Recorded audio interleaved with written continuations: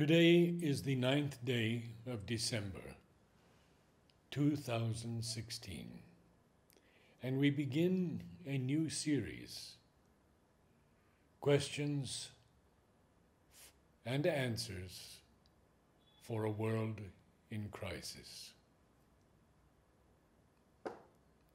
We are witness today to a world in chaos, the earth being ravaged and despoiled by greed, wars, and violent ideologies seeking to overpower, control, and enslave through extreme brutality our species. Man is at an evolutionary crossroads and is seeking answers to the most pressing questions of our age. Will humanity survive? Will Earth perish in some nuclear holocaust? Is there still hope for peace and collective harmony? We begin this series addressing questions and offering answers from the writings of Sri Aurobindo and the Mother in this time of planetary crisis. Links for further study are supplied, and we invite your questions as well. Today, we take up the question what is faith? The mother writes Faith is spontaneous knowledge in the psychic.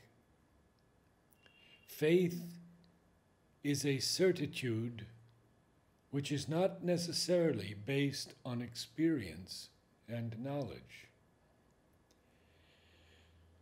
And Sri Aurobindo writes The phrase blind faith, has no real meaning. I suppose they mean they will not believe without proof. But the conclusion formed after proof is not faith. It is knowledge, or it is a mental opinion. Faith is something which one has before proof of knowledge, and it helps you to arrive at knowledge or experience. There is no proof that God exists, but if I have faith in God, then I can arrive at the experience of the divine.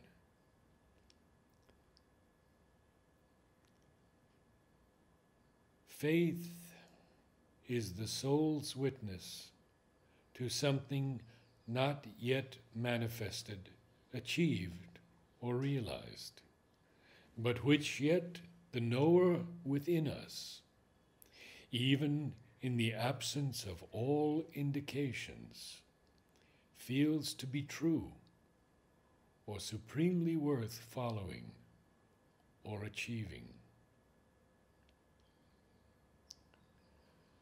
The fundamental faith in yoga is this inherent in the soul that the divine exists, and the divine is the one thing to be followed after.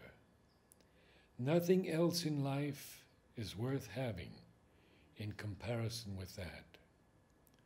So long as a man has that faith, he is marked for the spiritual life. And I will say that even if his nature is full of obstacles and crammed with denials and difficulties, and even if he has many years of struggle, he is marked out for success in the spiritual life. For me, faith is not intellectual belief, but a function of the soul. Faith is a thing that precedes knowledge, not comes after knowledge. It is a glimpse of a truth which the mind has not yet seized as knowledge. For further reading, please go to mother and Sri the website for seekers,